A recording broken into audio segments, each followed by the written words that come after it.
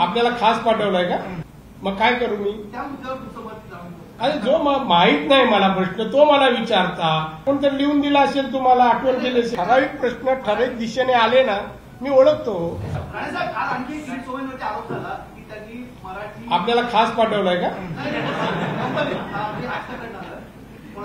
नाही, मला माहिती मी सगळ्यांना ओळखतो असं हा सुद्धा हा प्रश्न उपस्थित केला होता.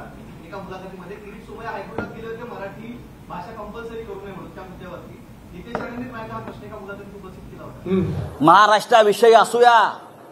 हाच किरीट सोमया ज्याने काही वर्षापूर्वी हायकोर्टामध्ये एक पिटिशन केलं होतं. आठवत असेल तुम्हाला? शिशिर शिंदे असतील त्यांना माहिती आहे. मराठी भाषा बरोबर ना?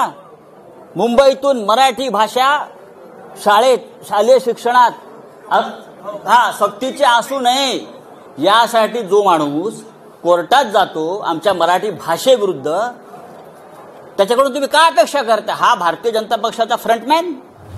मग काय करू मी? मत झालं मला नो कमेंट्स अरे जो माहीत नाही मला प्रश्न तो मला विचारता. आता नितेशने कुठे विचारला सभेत विचारला का हाऊसमध्ये विचार मला माहीत नाही.